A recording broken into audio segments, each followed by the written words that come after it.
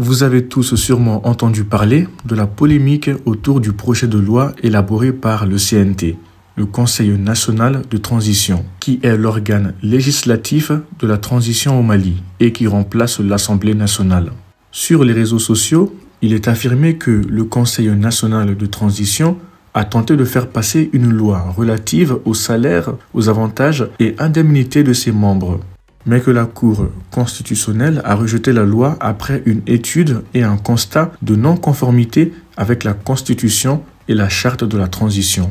Mais le sujet est un peu plus complexe que cela. Suivez attentivement cette vidéo jusqu'à la fin pour tout comprendre sur cette affaire. Tout d'abord, il faut savoir qu'il ne s'agit pas de nouveaux avantages, mais il s'agit de les encadrer par une loi car nous avons vu au Mali l'arrestation et l'incarcération de certaines personnalités de la cinquième législature pour avoir perçu des avantages indus à l'Assemblée nationale. Raison pour laquelle le Conseil national de transition a préparé une proposition de loi avec euh, effet rétroactif pour régulariser les avantages indûment perçus par ses membres. Après avoir transmis à la Cour constitutionnelle le projet de loi, fixant les avantages, indemnités et autres traitements des membres du CNT pour vérifier sa constitutionnalité, la Cour constitutionnelle a déclaré que six articles parmi les neuf sont non conformes à la Constitution et à la charte de la transition. Le projet de loi a été voté à l'unanimité des membres présents du CNT par 132 voix pour, 0 voix contre et zéro abstention. Sur la conformité à la Constitution, la Cour rappelle l'article 1er du projet de loi qui dispose que la présente loi organique fixe les avantages, indemnités et autres traitements des membres du Conseil national de transition. Il résulte de la lecture de cette disposition que le membre de phrase et autres traitements constitue un rajout tant dans le titre de la loi niveau de l'article 1er et n'est pas conforme à la Constitution. Quant à l'article 7 de la proposition stipulant que la présente loi régit les avantages, indemnités et autres traitements des membres du Conseil national de transition depuis sa mise en place, la Cour juge ces dispositions redondantes par rapport à celles de l'article 1er, qui définissent déjà l'objet de la loi organique.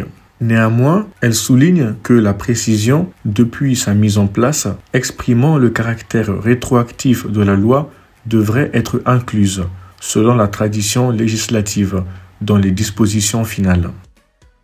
Concernant l'article 8 de cette loi, qui stipule que les montants et modalités d'attribution des indemnités, avantages et autres traitements des membres du Conseil national de transition sont déterminés par un acte réglementaire interne du président du Conseil national de transition.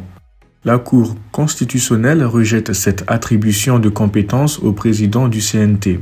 En effet, cette prérogative revient au législateur organique, selon l'article 101 de la Constitution. Par conséquent, la Cour déclare que l'article 8 est en violation de la Constitution se prononçant sur l'article 9 qui dispose la présente loi qui abroge toute disposition antérieure contraire sera enregistrée et publiée au journal officiel.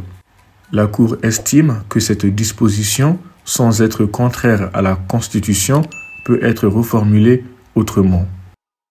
La Cour déclare également que les dispositions de l'article 2 et 3 sont conformes à la Constitution, sous réserve de remplacer fonds de souveraineté par fonds spéciaux à l'article 2 et de remplacer salaire par indemnité parlementaire aux articles 2 et 3.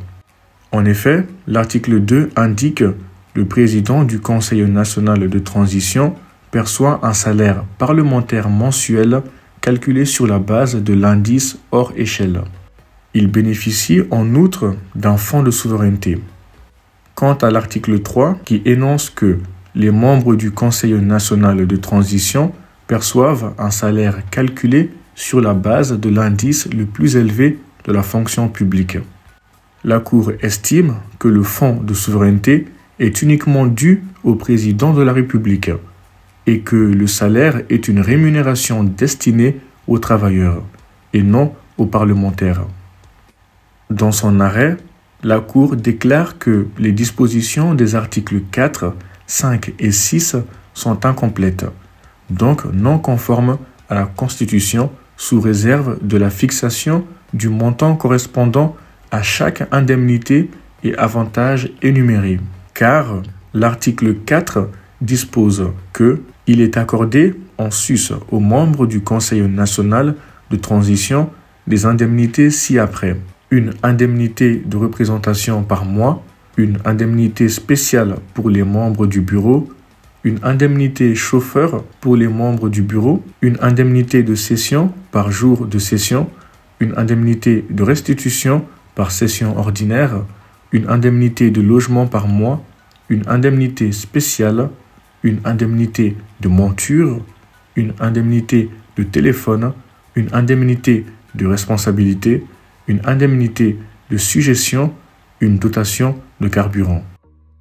L'article 5 stipule que les présidents des commissions bénéficient en sus d'une indemnité de responsabilité, tandis que l'article 6 prévoit que les présidents et vice-présidents des commissions du Conseil national de transition perçoivent en sus une indemnité de suggestion. Cependant, la Constitution exige que les indemnités et autres avantages soient fixés. Selon la Cour, le terme fixé implique de déterminer le montant précis de chaque indemnité énumérée, en tenant compte de la répartition technique des tâches parlementaires. En fin de compte, la décision de la Cour constitutionnelle a remis en question la légalité et la conformité du projet de loi, appelant à une révision approfondie avant toute adoption. Cette affaire met en lumière les défis auxquels est confrontée la transition au Mali, soulignant l'importance cruciale du respect des principes constitutionnels dans l'élaboration des lois. La Cour a relevé des problèmes de rédaction, des compétences dévolues incorrectement et des dispositions incomplètes dans plusieurs articles de la proposition, mais aussi également des erreurs terminologiques. Restez à l'écoute de Coolroom TV pour ne rien manquer sur l'actualité au Mali, au Sahel, en Afrique et dans le monde. C'est la fin de la vidéo. Si elle vous a plu, vous pouvez la liker, la partager et vous abonner à la chaîne tout en activant la cloche de notification pour ne rien manquer des prochaines vidéos.